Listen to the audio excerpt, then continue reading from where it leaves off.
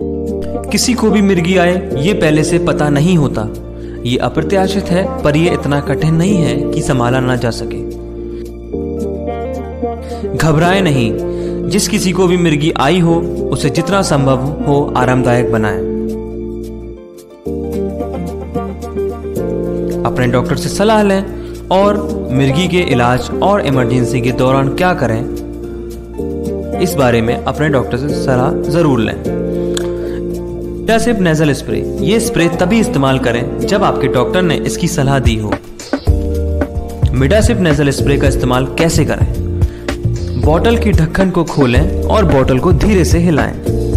बोतल को नीचे की तरफ़ अंगूठा और ऊपर पहली दो उंगलियों के बीच में उसको पकड़कर रखें। जब भी आप पहली बार इस्तेमाल करें, उसकी कुछ बूंदों को हवा में निकाल दें। जब भी आप नजल स्प्रे पेशेंट की नाक में करेंगे तो गर्दन को थोड़ा आगे की ओर उठाना पड़ेगा।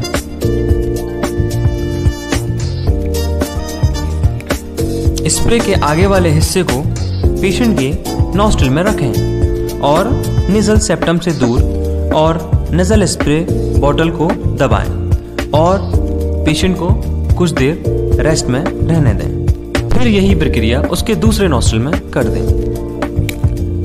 तीन से चार नेजल स्प्रे एक बार में आप कर सकते हैं। कुछ गलतियाँ हो जाती हैं नेजल स्प्रे यूज़ करने में। जब आप नेजल स्प्रे का इस्तेमाल कर रहे हों, जैसे कि इस्तेमाल करना भूल जाना डोजेस को छोड़ देना, गर्दन को गलत तरीके से रखना, आगे की तरफ़ मोड़कर रखना, या पीछे की तरफ़।